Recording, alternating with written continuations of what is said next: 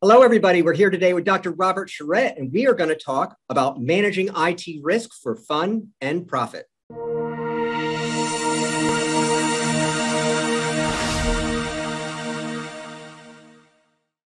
Hello, Dr. Charette. Thanks for joining us today. I want to tell everybody a little bit about our guest today. Uh, Dr. Robert Charette is an internationally acknowledged authority and pioneer in risk ecology management, systems engineering, and the management of very large scale software intensive systems.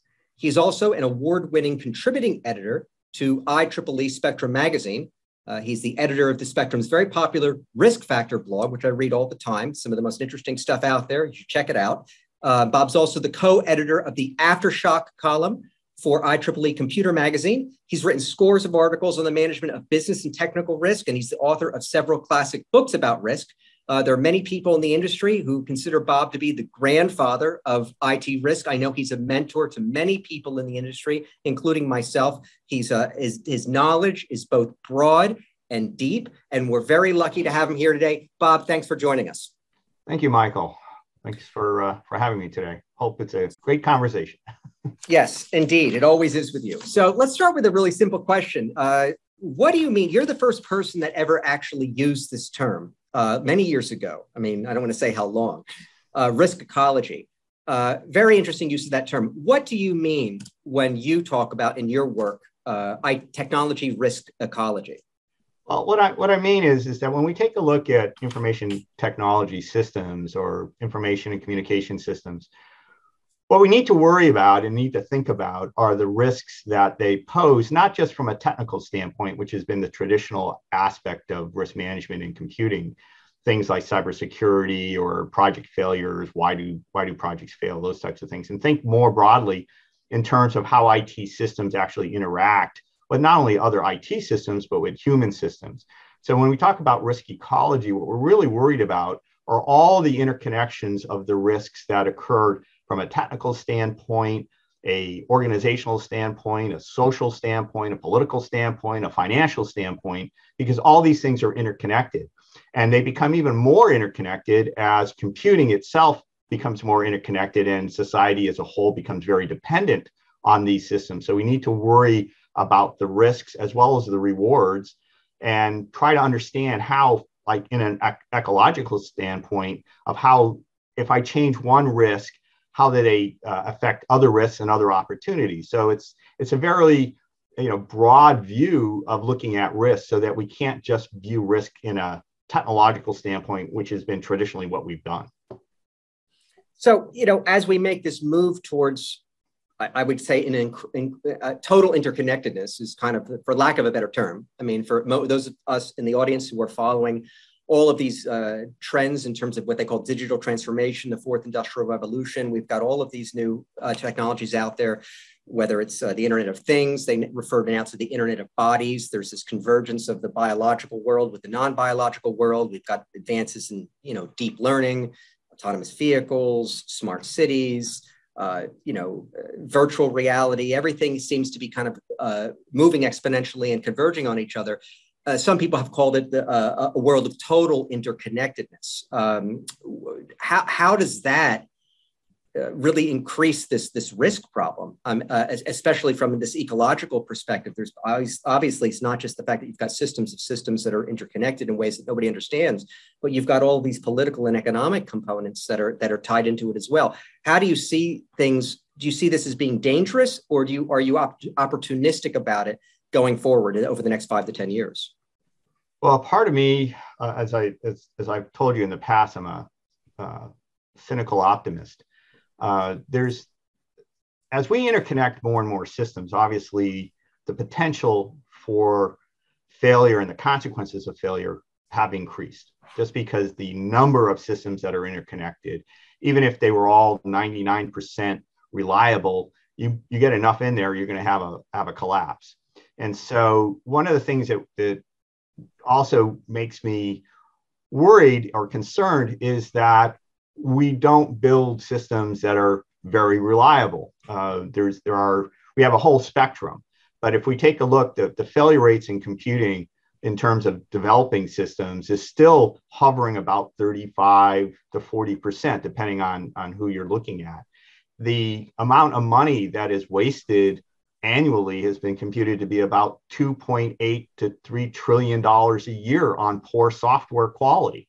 And so if you if you take a look at how systems are developed uh, how they're maintained or how how they're not maintained and you keep adding to this these number of systems we're talking about you know billions of, of devices in a uh, internet of things universe uh, connecting to systems that may be 60 years old, um, it, it does give one pause to think about how this is all going to work and how we're going to keep from having Armageddon in a sense from a technological standpoint. Uh, you know, sometimes I wonder, you know, why we haven't gotten there yet, uh, although we've seen indications every now and then of, of what might happen when we have some of these major outages.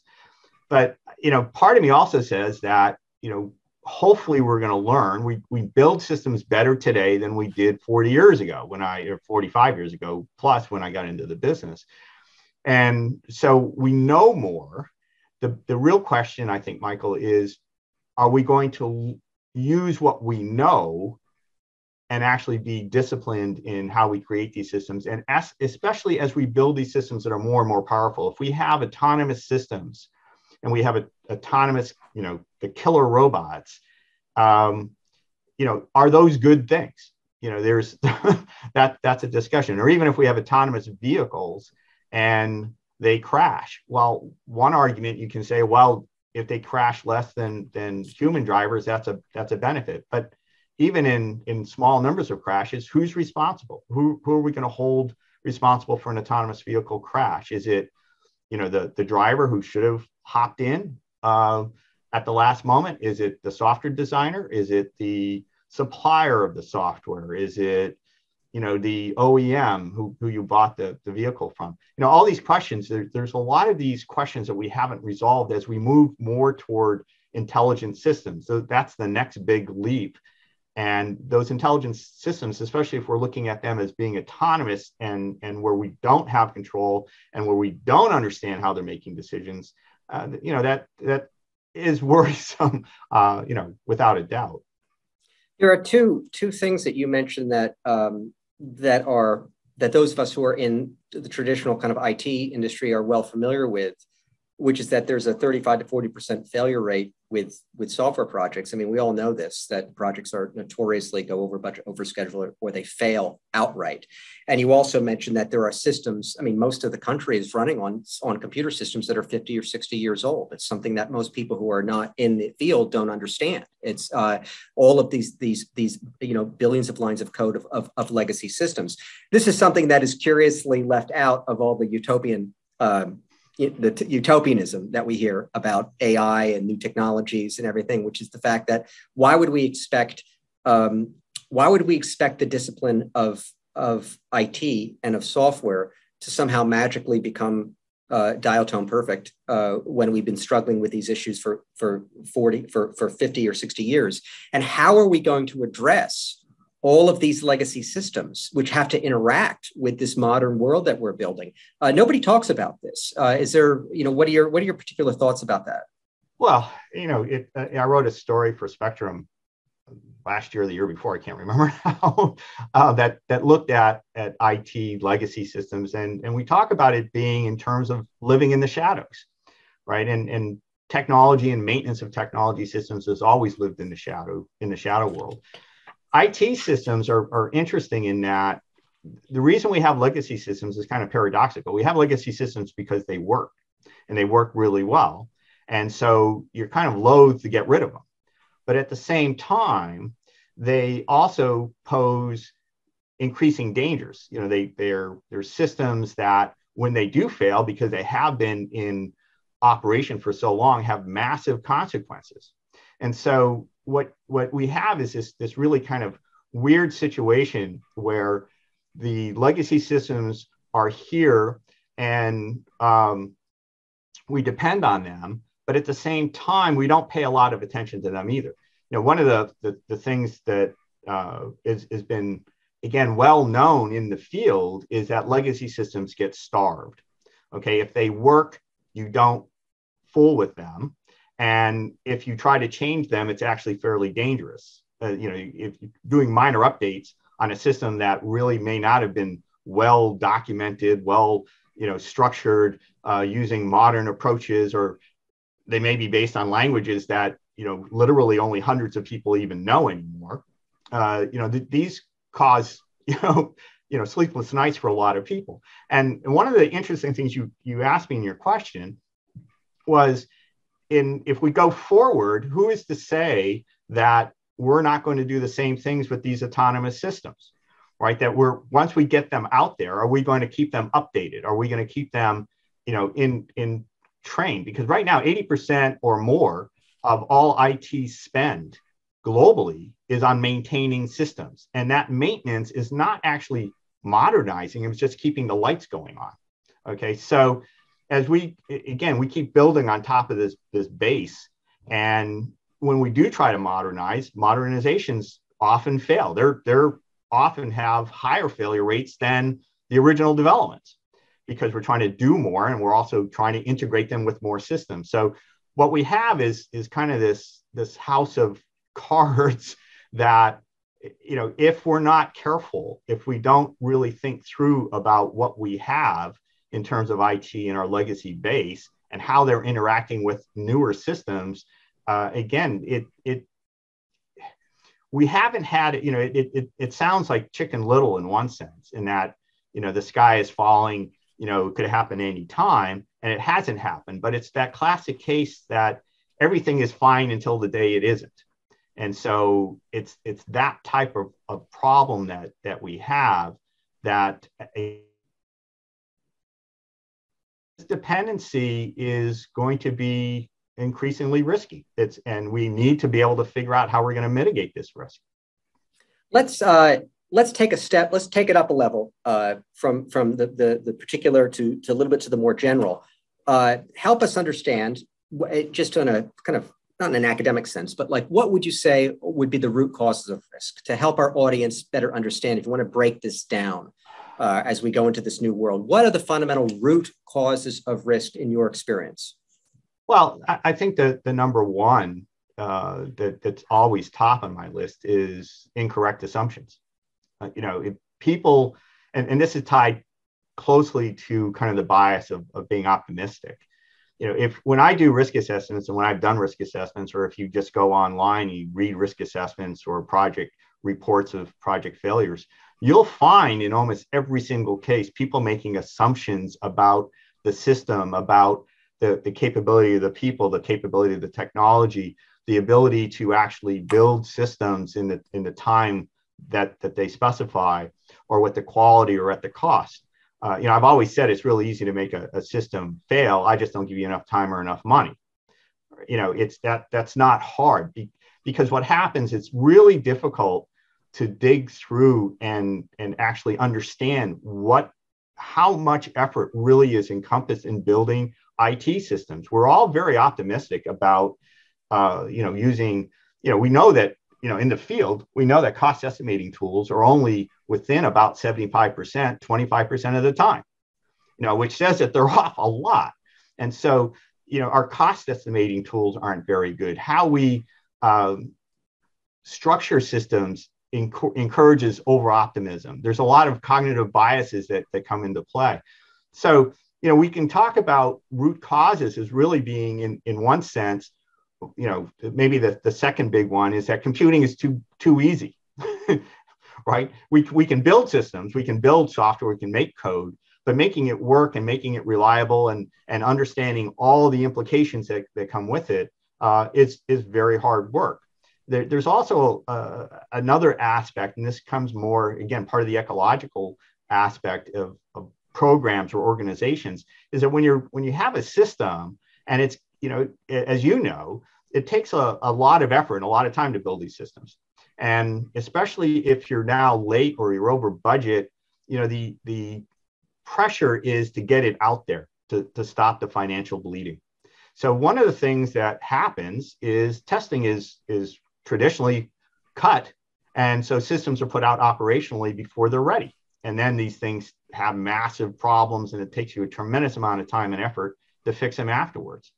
And so, you know, there's there's lots of root causes, but I think that the the number one that I would I would put my my finger on is this lack of really checking your assumptions, really understanding all the things that uh, need that you, that you think are going to happen versus are they really going to happen? Have you have you really you know it's what you know versus what you what you should know and that gap. How do you close that gap? And, and this has been consistently true for the past 40 years. Has anything yeah, changed i don't think in, i don't think has that, anything that changed? hasn't changed. I think again if you take a look at the failures in in ai systems and those failure rates again depending on the literature you know have been claimed as high as 85% uh, which isn't unusual for a new technology, or data analytics, which again, you know, some some folks say is, is as high as 80, 85%, is that again, we don't go through and take a look at the assumptions. You, you take a look at why AI systems fail, and there's certain assumptions that you make about what that system can do or what you need to make it accomplish a task. For instance, you take a look at IBM Watson.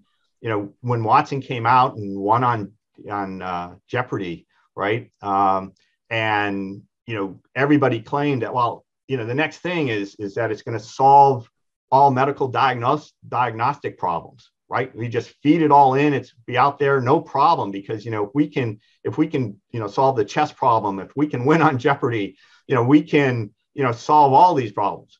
Well, uh, Watson isn't doing all that great right now. Um, and so, again, if you go back, there's a lot of assumptions of what you think you can do with AI until you actually try it. And then you find out that eh, it doesn't really work the way you think it is because, again, you're optimistic, or another way of looking at it is maybe you're arrogant.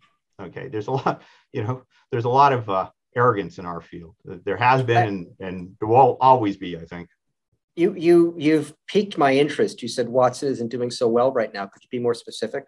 Well, again, the, the, the element of, of Watson, you know, the, the especially in the medical field, uh, you know, a lot of the, the contracts that were signed with IBM and with Watson have kind of let uh, have been let to, to go um, the furrow because they it really hasn't proven to be as useful as they had first anticipated.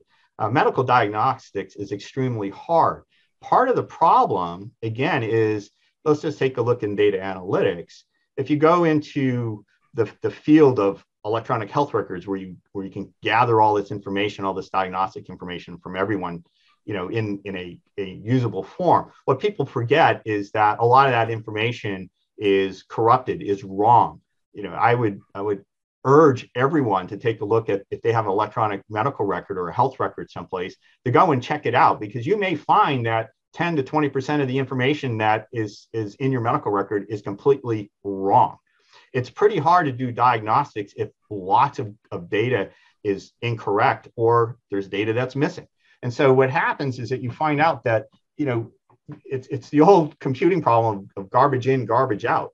So unless you have clean data, valid data, um, and, and valid information to be able to really do all your learning algorithms, the things don't work quite as well as you as you think they're going to what exactly uh, what would you say of all the the new technologies that we're reading about that are some are pie in the sky some are under development i know that you have some thoughts about you know we've talked a little bit about quantum computing you don't seem to be too you don't sort of put too much confidence in that as basically an emergent technology. I'd, be, I'd like to know why uh, and and what you feel the implications of that would be. But how how is uh, uh, the move towards IoT and smart cities and autonomous vehicles, how does that change the risk equation in, in the future, in your opinion? Well, I think what what you see in IoT and uh, smart vehicles and, and smart cities is that computing has shifted from being kind of islands to interconnected islands to fused islands. It's almost like like you know the geological um, where, where when when the continents separated we, you know we're, we're now moving in the opposite way you know the continents are all mo- moving back together again. And what happens now is is that computing is much more tied to what we'd call cyber physical systems right? Where where there's a control of this of a physical system through cyber And we're not talking about it in like a, a manufacturing plant or in a, a, power plant or something like that. We're now talking about it being computing being embedded in every device that that we op, we we interact with. You know, think of Alexa. Okay, things that we're now part of. And now Alexa goes in your car, and Alexa, you know, you you you talk to a computer, which then helps drive a car, and that car might you know be self-driving and, and decide to go on Beth Path, you know, based on information that it's gathered from the from the environment. So now we have the environment and our computing systems all interacting. So we have you know third, fourth, fifth parties all interacting together um, to make decisions. And so that fundamentally changes how computing now operates because again, that information we're, we're very dependent on the quality of that information that's coming and the latency of that information that's that's coming from all these other maybe millions of sensors. You know the idea in in self-driving uh, vehicles you know in, in the next 10 20 years is that they all communicate with one another. They give you weather data. They give you traffic data. They give you road conditions. They give you you know obstacles. They they you know you you want to order a pizza you know they can figure out exactly when you can pick up your pizza you know in the car. You know it's i'm being a little facetious but it's it's now you are now part of a larger ecosystem that is constantly in communication constantly um, uh, censoring you you're censoring it it's censoring you. And so now you you in, in one sense you can't escape you know the environment because that environment now is totally wired uh, I, don't know anybody actually who's at your level who uh, is um, not concerned about this move towards total interconnectedness. There are a lot of obviously security issues, cyber risks, and whatnot that come from, especially when you you know you get into the, the level of, uh, of, biolog- of, of, the biological world, you know, where they're now looking at, um, you know, both the, the kind of convergence of the biological, non-biological world, the fact that, you know, what if people can hack into your, your, you know, to your body, like, because everything is interconnected. Once people get wired in, actually get their biology wired into things, how are we supposed to deal with these these hacking risks and cyber risks in a world that is that interconnected. It just seems like such a recipe for disaster. And like i said i don't know anybody who's at your level who is um, who is optimistic. And most of those people would say i would say would say no to alexa. They would say no to nest. They would say no to wiring their house. Uh, and uh, so how, how are we supposed to kind of manage this going forward? It seems like an, an inexorable march towards interconnectedness well, I think there is, and I'm not sure that you can totally manage these risks. You know, that one of the problems that you that you have is is the the problem of the commons when you talk about IoT, is that you have lots and lots of different suppliers who are providing you with IoT devices with different levels of security. And one of the issues, you know, that I, I wrote about a number of years ago is what happens when those suppliers go out of business know, one of the there's an int- very interesting story that that's hit the news, and in fact, it was it was uh, part of Spectrum uh, news um, reporting this past week about people who had bionic eyes, you know, the the uh, implants, and um, that company is going out of business. And if that software doesn't work, those people go blind. Okay, now there's hope that another company is going to buy you know the original company and keep it going. But what happens if again you have implants and the software company goes out of business or the hardware company goes out of business? How do how do we deal with that? You know is the government supposed to come in and force people who've had you know force the companies who, who have implanted all these devices to stay in business? You know that's not going to happen. So you know it's not just hacking. It's just it, again it's the issue of legacy the issue of you know longevity you know in, in self uh, or in, in, electric vehicles, you know, one of the things that car makers are, are trying to do is ensure that you have a battery that lasts 10 years. And if that battery happens, if the technology replaces it, that they'll come in and replace it with the newest technology. Because this, this idea that once we get in interconnected systems, you know, we're going to have, you know, even worse than we have now, we're going to have systems that are that are new, old, some are really well secured. A lot of them have no security and we're going to be in a world that that risk ecology is going to be very, very complex. and we need ways to actually understand it the ways to be able to understand where that where those risks are and how to manage it at the same time you know these systems also provide tremendous benefit and so there's there is this balance between risk and reward in terms of okay should should there be guardrails put up on some of this technology until we actually understand the risk or do we put it out there and then figure it out afterwards? Um, i'm i'm of two minds. You know you don't want to totally keep technologies in that are beneficial but at the same time i think that that we don't understand the downsides until we put them out there and then we see them okay it, it, we can talk about you know the internet and and back in you know 1996 about the you know how how it was going to free everyone. It was going to make everybody equal and it was going to make everybody you know uh, give freedom to everyone. And uh, you know no there was you know everyone's going to have a voice. Well you know we have that but i'm not quite sure that was quite the vision in 1996 that that was being uh, articulated well, I mean, we were talking before the uh, session started about what I my my hypothesis that a lot of the uh, turmoil that we're seeing in the larger ecology, you know, the, both the political and, and the economic spheres right now, was because of specifically because of the internet, because of Web 2.0, the, the decentralization of information that was a result of, of, um, of Web 2.0. Now they talk about Web 3.0, which uh, I'm wondering if you have any particular thoughts about that the underlying technology, how that affects the overall risk ecology, and um, just any thoughts about that in general.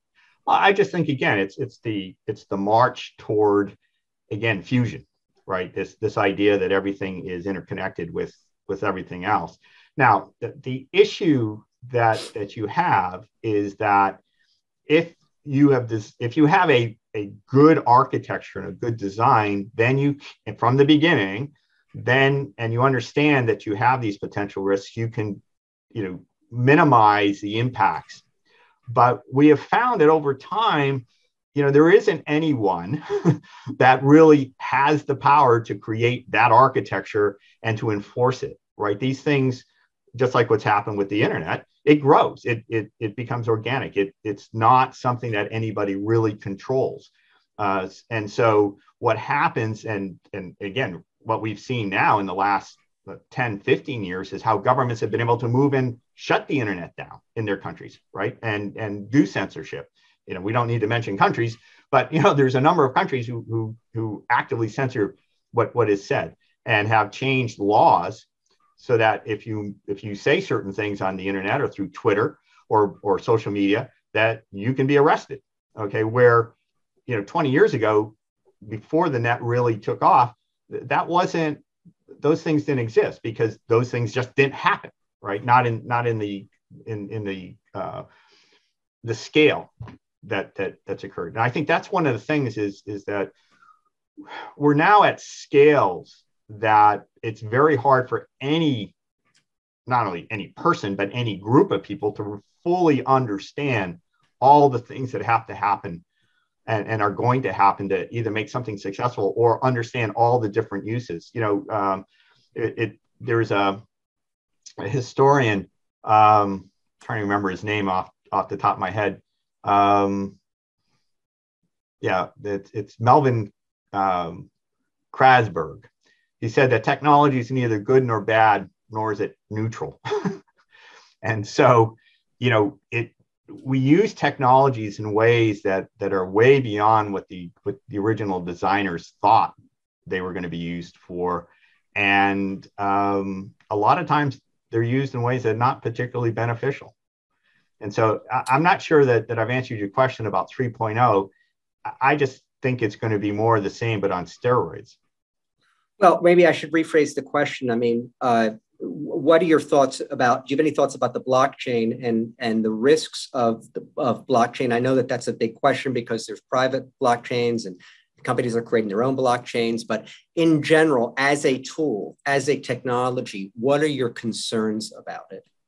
Well, I think again the, the issue of blockchain. I'm I'm I'm not a big blockchain fan. Um, I'm not sure that that there's tremendous you know, there, there's lots of claims of benefits for blockchain, but I, I'm a little bit skeptical of, of how much of these things are actually going to be very useful in the future that, that you couldn't do other ways that are that are faster, cheaper, and, and as good.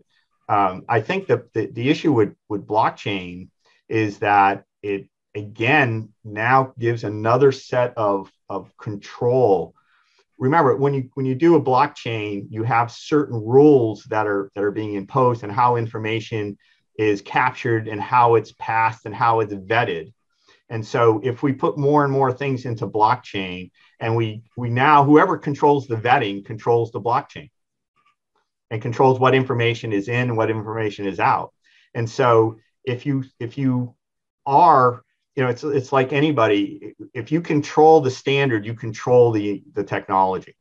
And so i worry about are these are these vetting procedures are the things that you can capture and what you can't capture in blockchains are those actually transparent? Can everybody see what those rules are and understand how information is being captured how it's being decimated what's being decimated? Um, again it's it, we're, we're not the issue that we have i think again in, in all of this technology that we have no matter how you know i'm i read about this every day. This is part of my my everyday job is is to read you know dozens of newspapers and journals every day trying to keep up on this is that it's really hard to understand what's going on. There is so much going on in so many different areas that again i can't say for certain that this is particularly good or this particularly bad at any one particular point in time because there's something else that's probably hiding in the background that's just sitting out there being developed. And we don't know what's going on. You know it's mm-hmm. it's it is a very diff it's it's a much different field than when i first got in. When i first got in um, after i uh, as an undergrad uh, I, I went to work for the navy department at the naval underwater systems center as it was called back then. And I probably knew most of the computing people in the Navy, in the Navy research laboratories. Uh, you, you couldn't do that now. There's a, you know, the, the growth is, uh, of people in the field is, has been tremendous. And so even in, in my field of risk management, you know, I don't know all the people who are in it like I used to. It, it's just because it's exploded.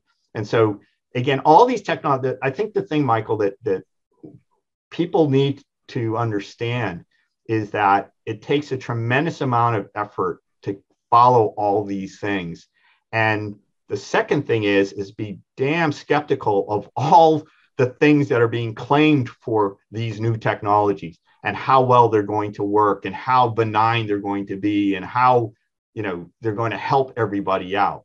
Uh, you know, I, I'm I'm highly skeptical because you know the 75 years of history of computing uh, has shown that that hasn't been, you know, the, the big worry. You know, the, the big, I wrote a paper about this on, on uh, the 75th anniversary of computing about computing ethics and how for the last 75 years we've been worried about the technology, but what has been called the know-how, right? How things interconnect, how we get things to work, not about the know where, which is what are we actually doing with these systems? What do we want them to do? How do we prevent them from hurting people? You know, we have systems that have been built. You know, there's there's a there's a scandal right now in the UK uh, on the what's called the Horizon Post Office scandal. Okay, this is the UK Post Office put in a, an accounting system back in 1999 in the post office to help postmasters, the lo- all the local postmasters. Well, there was a flaw in the software that flaw was known by the post office and known by the supplier. But they said instead that when there was outages, when there was shortfalls in, in postmaster accounts, that it was the postmasters who were fraudulently cheating the post office. So 750 plus postmasters over 14 years were criminally convicted for theft based on a software flaw that was known by post office and they refused to admit that there was a problem. It's now only come out in the last few years, and now the government is finally paying restitution to these people. But how do you tell somebody who has been thrown in prison that sorry, our fault, and we knew about it. Okay, that that's what I would call pure administrative evil. You know, systems being used to harm people on purpose. The same thing happened in Michigan with their unemployment system, where they went out and convicted and and and said, you know, to the 34,000 people that you were you were uh, involved in unemployment fraud. They froze their accounts. They threw some in jail. Some people committed suicide. Know what? Th- these are things when people say that this system works, it's great. There's nothing wrong with it. Um, we have 75 years of, of data that says don't trust it. Yeah, there is a lot of utopianism out there. And Bob, I, that, to be perfectly frank, that's why I invited you to, to join us for this podcast because I know that uh, I, I, like you're the you're the passionate about this.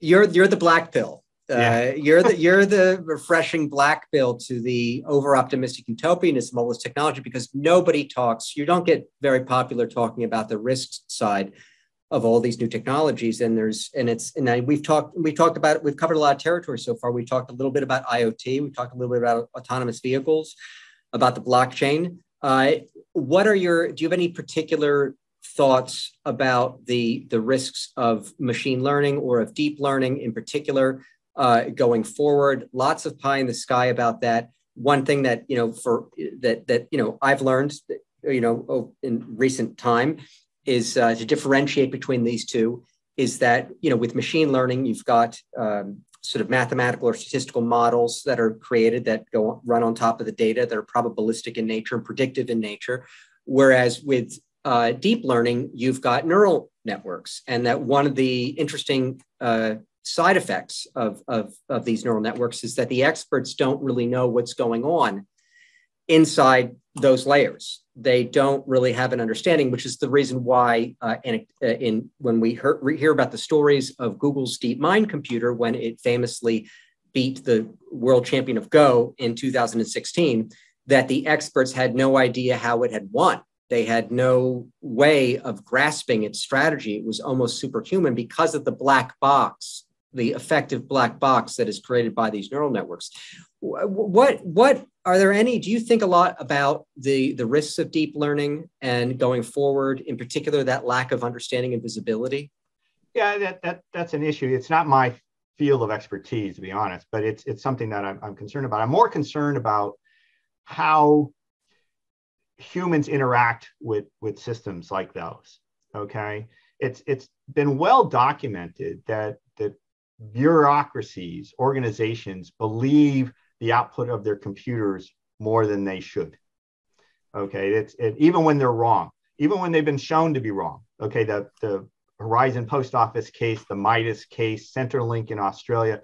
You know, there's dozens of others. You know, there's there's you know, you know, uh, mats of of uh, of mass destruction, right? Uh, weapons of mass. Is the Mi- is the is the Midas case the unemployment case in Michigan? Yeah, that's in Michigan, and then Centrelink okay. is down in Australia, where they had something very similar that that went on to. What could you be specific? What happened in Australia? Well, there they again they they claim that people were were not entitled to benefits and that they were cheating on on their benefits, and it turned out that in fact, you know, the algorithms were you know poorly constructed, had um, what what they were supposed to do was look at um, periods. For instance, if if you were on um, uh, unemployment for a short period of time, uh, it would average out for the whole year. So it'd say, well, you were obviously making um, too much money, okay, and that that you owe us all this money because you you were over a different time frame than than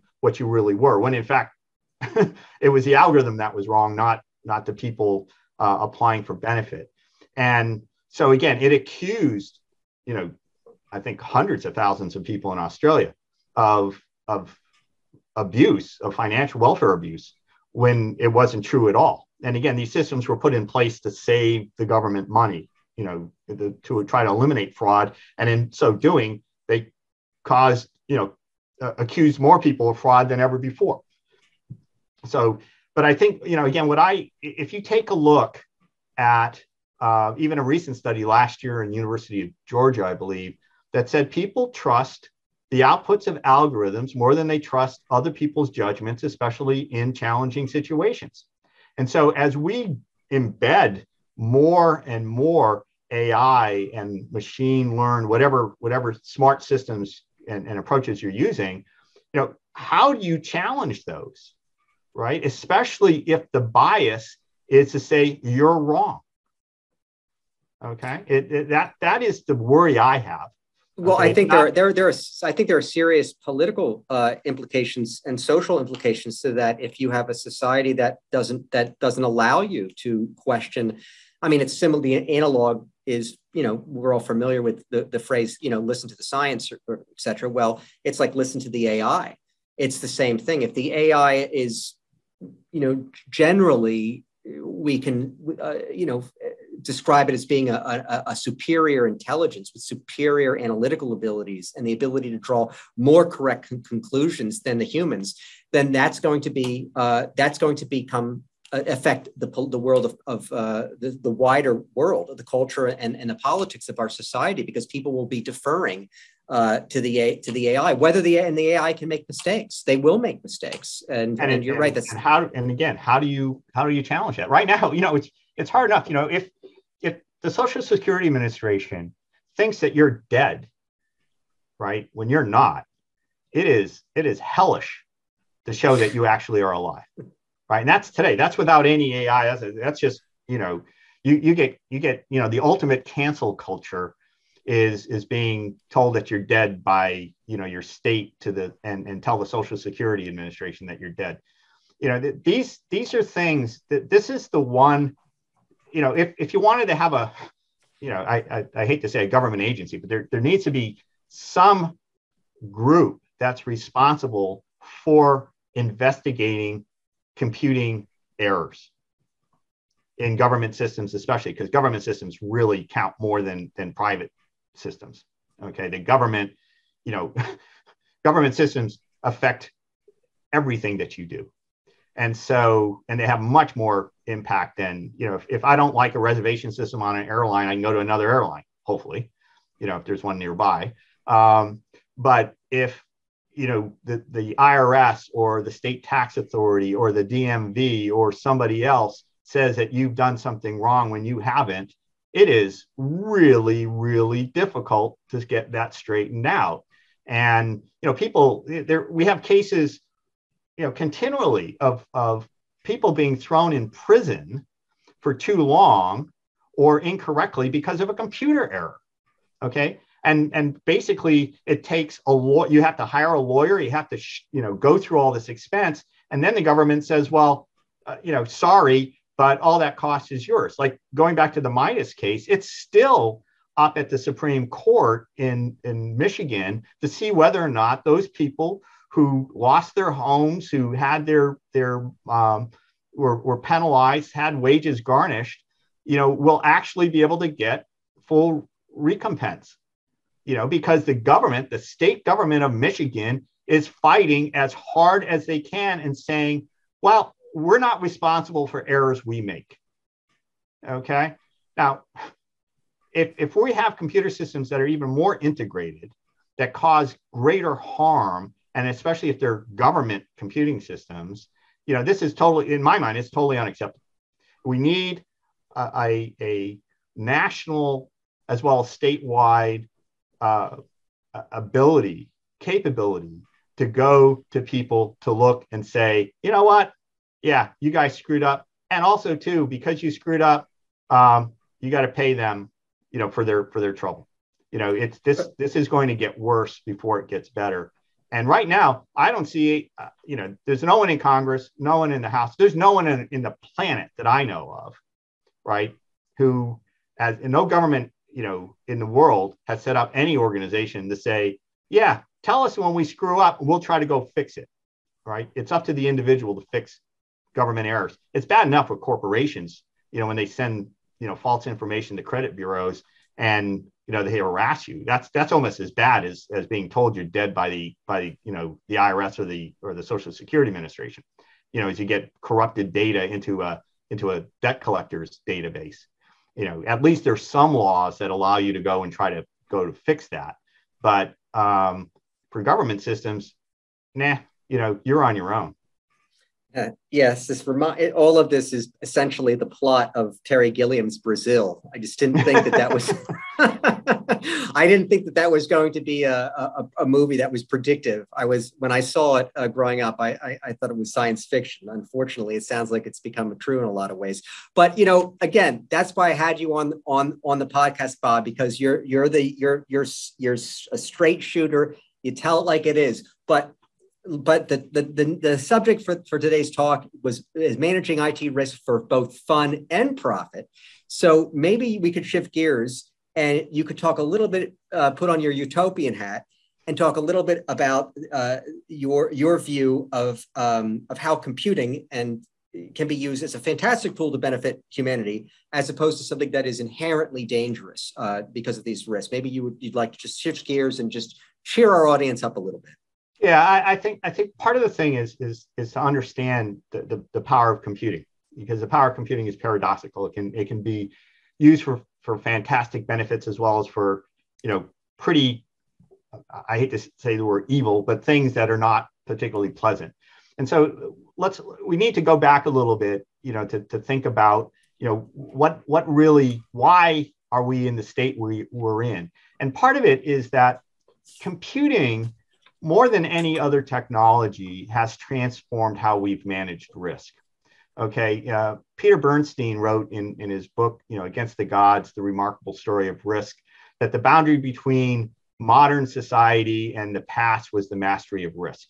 Right? We didn't we didn't blame the gods for our problems. Right? We understood that you know was what we did, the actions we took, the decisions that we made that made that difference. So we could start to understand that we were more in control than just being, you know, letting fate, you know, take over and and we were, you know, bound by whatever, you know, the gods decided for us. So, you know, one of the things that that is interesting to me was that uh, and I think John Bernstein, who I don't think is related to uh, to Peter Bernstein, uh, he's, he's a historian, you know, wrote in his book, you know, Progress in the Quest for Meaning, that what, after all, is technology other than the management of risk? Okay, technology, if we think about technology, let's go back to the earliest forms of technology, like the stone axe, right?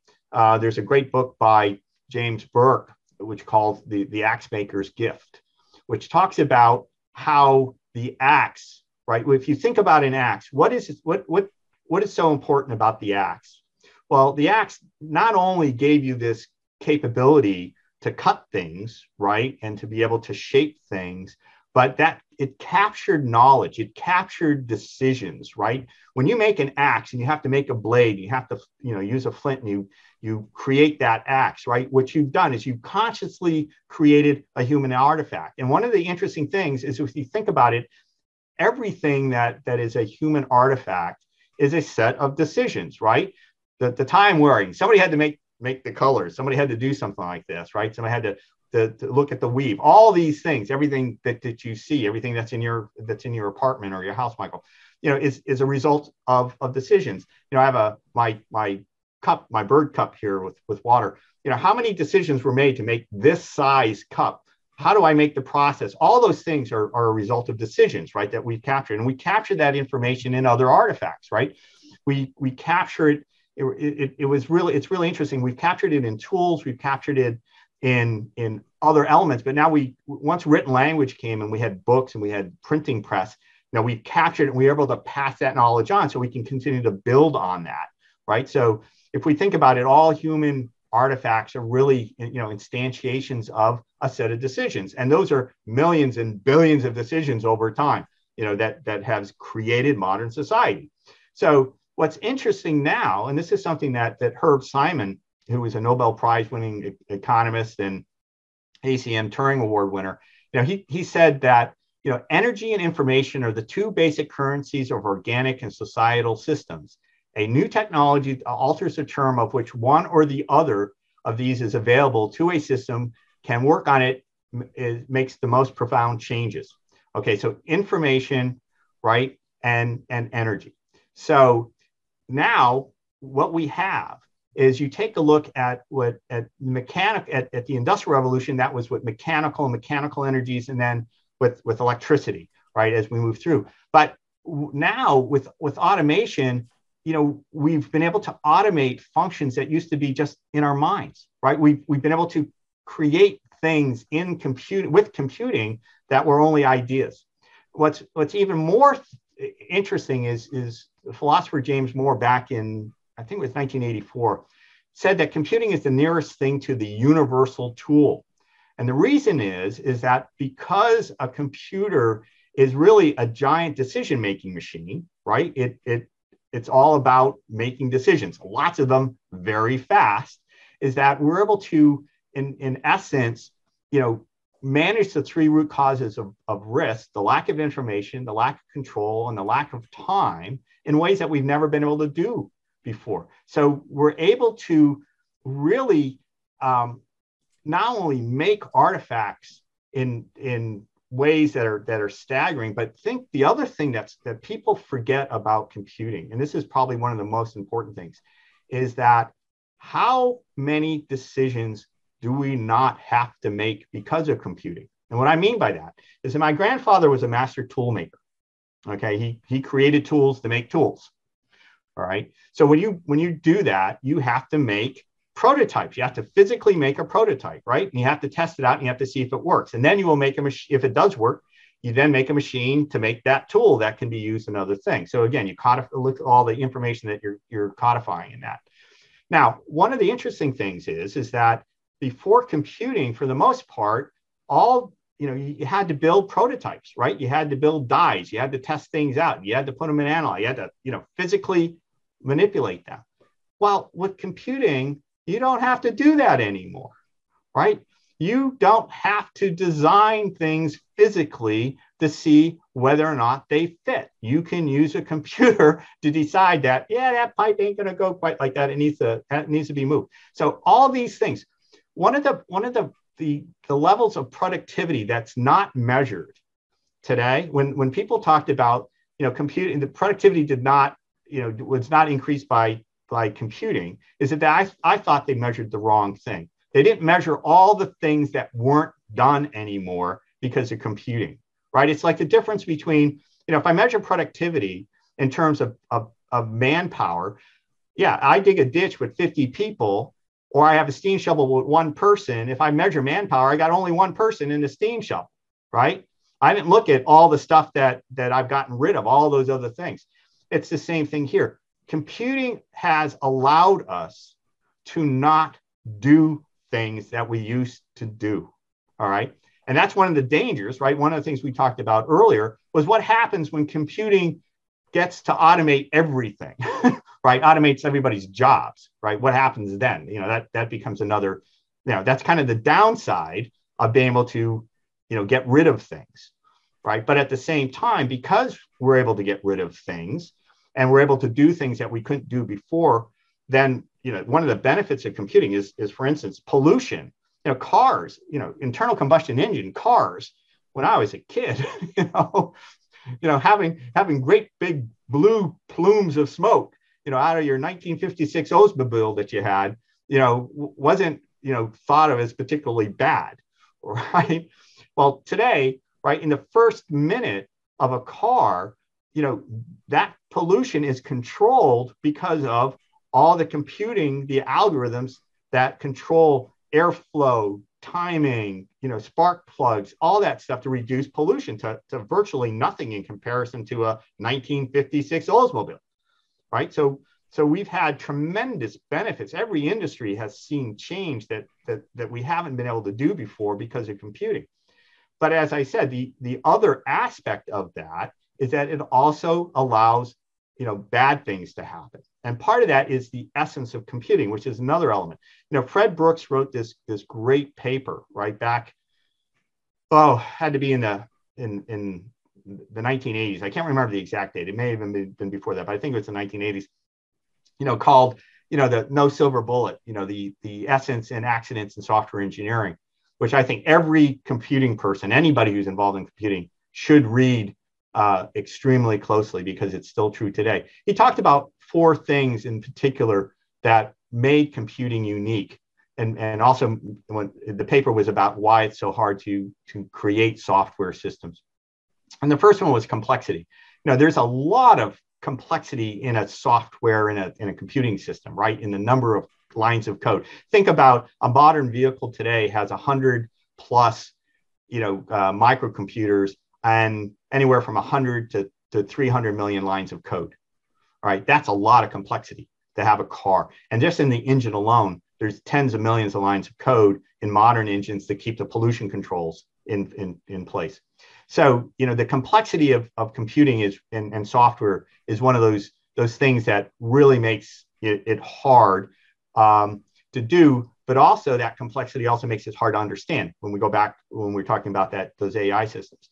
We also talk about conformity. You know, software and, and you know itself doesn't. There's no physical laws. There's no software physical law, right? You know, in, in terms of physics, but you know, software has to conform to specifications, right? You you can't just write code. You have you know you have languages, you have definitions, you have interfaces, you have you know hardware that it has to run on there's all these different levels of abstraction that that need to interoperate together and they have to be very specific for something to to operate correctly. And you know one or two errors in the in the wrong place and the whole system can come can collapse. You know this is this has happened many times in the past in, in major systems where a single line of code or two lines of code are, are bad and, and a massive system goes out. So you know that that's one thing. So you have to be you don't have any laws of physics that you follow, but at the same time, you have to follow, you know, conformity, these specifications at multiple levels of abstraction.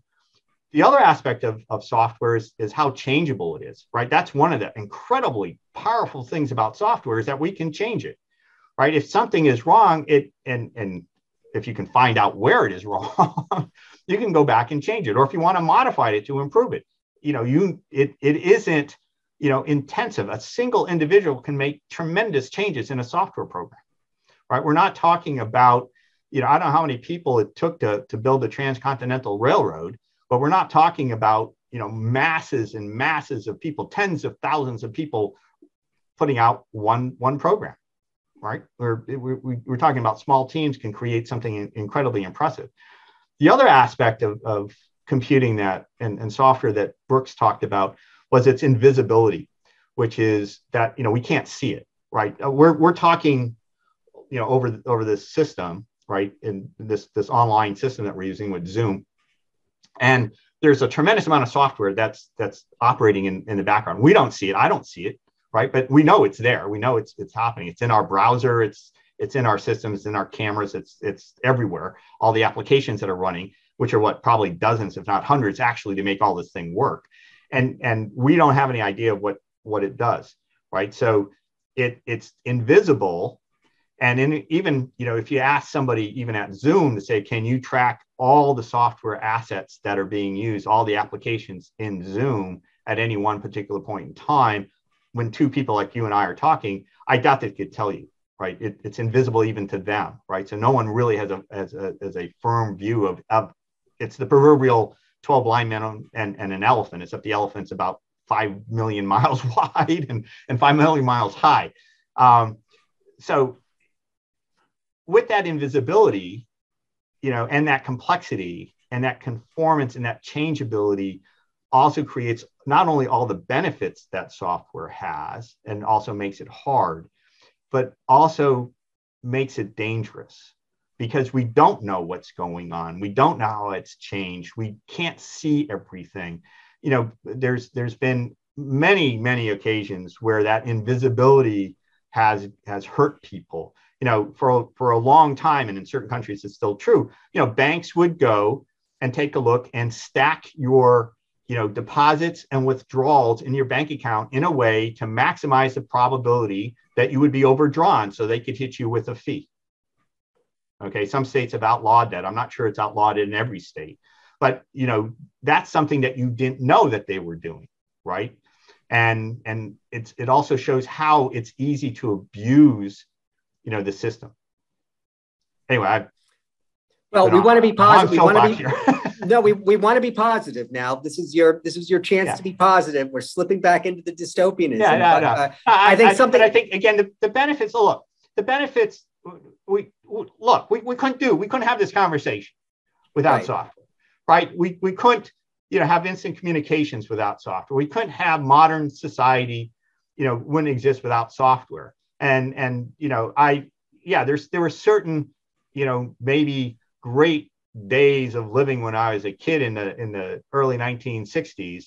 But believe me, I won't want to go back there, right? The, the, I, I like I like my personal computer. I like having going on the web. I like being able to surf the web. I like being able to, you know, talk to my kids on the phone or text them whenever I want. I'd like, you know, the the the fact that I have a car that that you know doesn't pollute. I I like the fact that you know we can you know start moving off fossil fuels more than than we, we've had we've been able to in the past. You know, I like the fact that you know i can order a pizza online and get it you know within three minutes of me you know getting there you know it's i like all those all those benefits right in terms of you know visibility into things that i i didn't have before you know just in terms of research you know me i you know i have a, a library here with, without exaggeration that has you know probably in the neighborhood of about eight to ten thousand books in in my home and and yet you know that that isn't necessary you know, when I first started in the business, it was necessary, right, to to collect because my my work is to understand all these interconnections of technology and society and politics and everything else. So I have a big shelves full of, of risk books and economics and history and you know politics it, you know you name it i have it in my library but you know it's all online most of it um, although i do there, there is one benefit is that there I have a lot of things that are no longer online. you know, that's that's the one thing I think historians are probably going to be really irritated about is is that a, a lot of things that are only online are disappearing and that that you know there will be big for for a society that has published more information almost every day than has ever occurred in the previous you know 2000 years uh, how much of it is is going to be missing you know 10 20 years from now and and and maybe forever because things are are you know impermanent. But again i i, I think you know technology is great uh, but i'm also as i said i'm a cynical optimist right there's this is all great but it could be greater right that's the thing you know we don't need to have 2.8 trillion dollars of poor software we don't need to have project failures. We don't need to be, you know, persecuting people over fraud that they didn't commit because of computer systems, right? We know how to do things better. But what really gets me irritated is that we don't do things better because, you know, for for whatever reasons, politics, laziness, you know, stubbornness, arrogance, things that, you know, may be part of the human condition but again, it, it doesn't say that that we should accept them either. I want to end this uh, this discussion on a positive note. So, is there I've been positive? Anything... I've been positive. No, no, no, no. I know you've been positive. I know you've been positive. I said I want to I want to make sure that we end it on a positive note. And so I'm wondering if you could, you know, to close, if you could uh, give us any uh, advice about or give give the your your your audience uh, any advice about how to how we can sort of maximize the positive, minimize the negative in terms of better managing these risks as we go into this era of digital transformation, uh, how to be more cognizant of it, and how we can sort of hope, hopefully optimize the risk, the, the, this equation, so that we get more good outcomes and less bad outcomes uh, as we as we move into the next five to ten years. I, okay, I have a, a, a couple max, and you know me, I have, I have yeah, I know. That's why I asked the question well, because there's a long there's a long yeah, list. A long list, but I, I won't. I won't. We'll, we'll, be here for another three hours. Right. um, I, I, think you know one of the things. The first off is is to master the detail, to master the risk.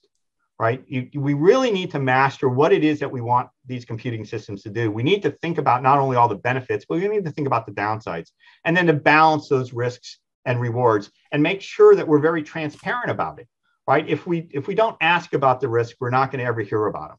And so, you know, we, we only profit. You know, profit comes from managing risk, right? All all exchanges of goods and services and exchange of risk and opportunity between the people. We've had this discussion many times before, and and people, you know, don't quite understand it.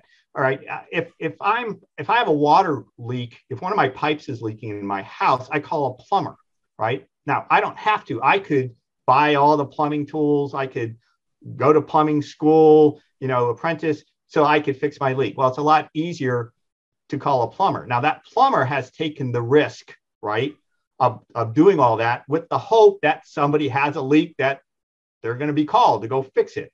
So to him, to that plumber or her, they look at, at me as an opportunity. All right. I look at them as my problem solver, my risk solver, because they're going to come here and, and do that. So, you know, risk, risk, where profit comes from, and this is, you know, again, a, a basis of economics, you don't have profit without risk, right? You sell things to people because you manage their risk. That's why they buy from you. You're, if you're the best risk manager of your customer, you're going to be king of the king of the hill. That's that is just there's there's no doubt about it. We can call them problems, which are just risks that have occurred, but you're still that's that's where profit comes from. So the more we're able to manage the risk, more we under, understand risk, the richer we're going to get. By the way, okay, that's that is uh, just a, a given, which for whatever reason people don't seem to understand. They they you know what what bothers me. I'm going to be negative for one sec. Is is that in government people say they're they're risk averse because they don't want to identify the risk. They want to tell people about the risk. Well, my my way of thinking, they're incredibly risk taking because what they're doing is they're almost guaranteeing that that they're going to have failures. Where you know if if you're really want to get ahead of the game, you look at risks very coldly. You know, Tim Lister, you know, used to say that risk management was for adults, and that's what it is. You look at it, you know, with with what my math old math professor in high school would say a jaundiced eye. You would you would really carefully look at it and figure out how you're going to solve that so you can move on. And and computing as a as a whole, the industry as a whole has taken that, right? We we continue to to manage risk, we bring out new things that hopefully manage risk. The downside is is that we've also created other risks in doing that, right? Which we which we need to be a little bit more open about. You know, it, it's let's understand both sides of the equation. The other thing is is that assumptions made are risks taken right? As I said before, assumptions really underpin most failures. You know, the failure to really understand them, to even reflect on them. And so we need to do that better. The other, an, another one is, is that if you can't reverse a decision, you can't manage risk, right? There's nothing wrong with saying, you know what, I have more information. I need to revisit this before I move on. You know, it, it, it, we could we could devolve into politics, which I don't want to do. But you know, this and there's this idea that you know it, it comes from I forget who said it, but I saw it in a John Wayne movie. You know, never apologize. It's a it's a sign of weakness. And part of that apology aspect is that you can't reverse a decision, right? Well, yeah, you can, right? That's the only way you get ahead. And if you don't reverse your decision, guess what? You're not going to earn any profit. You're going to earn a hell of a lot of loss the the last one I'm going to leave people with really is that risk management isn't about future decisions. It's about the future of present decisions, right? It's what we do now, right? It's we can change the world if we work on the decisions that we're making now, right? There's been a lot of bad things that have happened. You know, let's learn from those and let's let's look and say how do we move forward, right? And if, if there's one fault of the IT industry, and it's not just the IT industry, but the IT industry in particular has this, is that we fail to learn from, from our experience, right? We, we, we need to learn from experience. I don't understand it, it, to be honest. You know, I've been in this business for, for, you know, almost five decades now. And I see the same mistakes over and over and over again. And I, I am flabbergasted that we don't have a, we, we, we continue to make those same mistakes. Okay. It, it's really needless. It's costly. It's you know frankly stupid. And um, you know it made me a lot of money over a long time. But you know it, it really is gets to be a little disheartening when you go in and you say yeah i've seen this you know this before right there's nothing new here um, so anyway, you know, manage the risk ecology, make a lot of money because if you can manage that ecology, especially as computing now becomes more complicated, there's a lot more opportunity to actually make sure that those risks are managed. And if you can, you know, look at those edge cases, look at where the interfaces are, because that's where the risks are. That that you know, the next billionaires will all. I'll, I'll guarantee you, the next billionaires will be the ones who manage all these these interfaces and manage those risks. Solid, solid advice. Managing IT risk for fun and profit. Dr. Robert Charette, always a pleasure to talk to you. Uh, or for those of you who uh, want to uh, read more about Dr. Charette, uh, you can Google him, Robert N. Charette. You can go to IEEE Spectrum. He's got a lot of articles out there. Uh, they're excellent. I always learn something about the world that I'm living in when I read one of Dr. Charette's articles. Bob, so great to have you with us today. Thank you so much for all of your time. Hope we can do this again sometime. Thank you, Michael, and uh, it's been a pleasure.